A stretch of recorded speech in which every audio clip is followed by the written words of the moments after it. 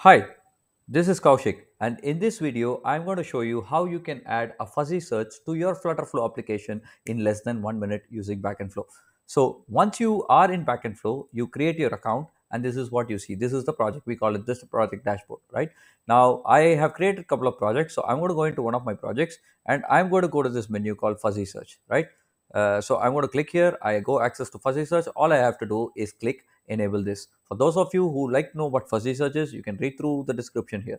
Once you have clicked enable, the next thing that you have to do is download the API bundle. So all I do is go and click download the API bundle and I get a zip file which kind of downloads. There you go, the zip file downloaded, right? So I already have my zip file here, so which I'm going to open. So when you unzip, you're going to see list of files that you have enabled or different API services. So I'm going to go after my fuzzy search. So I'm going to just extract it and keep it as a folder in my system.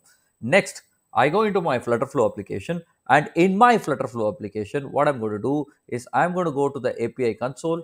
Uh, it's a bit slow. There you go. One second. Let's see. Okay, so I'm going to go into my API console. Just click this orange button. In case you are in the paid plan, you have access to importing uh, YAML file or an open API file directly into Flutterflow. And this is uh, something that Backend Flow already does it for you. So you just download and import it to uh, your Flutterflow. So uh, let it load one minute. Quickly. Ah, yeah.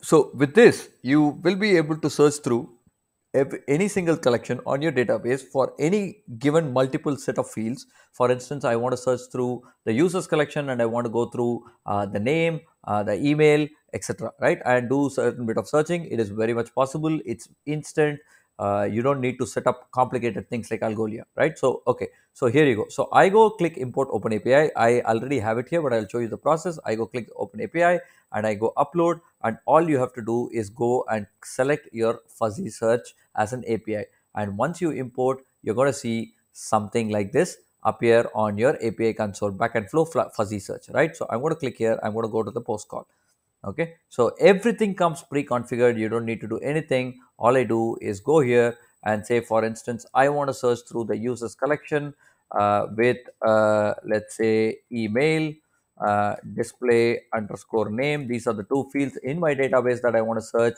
and i want to search for uh, let's say a record name Dahobi right and i just test fire my api call I actually added a limit uh, which was not there. There you go. You get the results and instantly this is something that it searches for Dahobi app. It gets you the user and this is something that you can directly integrate as an API call in your application.